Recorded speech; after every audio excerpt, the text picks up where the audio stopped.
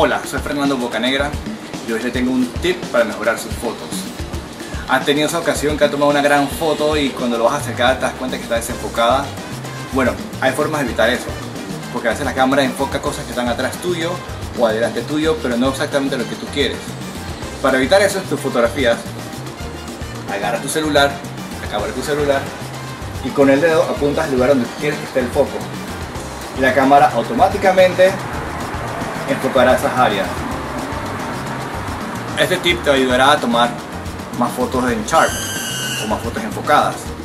Y recuerda el hashtag mi historia cuenta Panamá.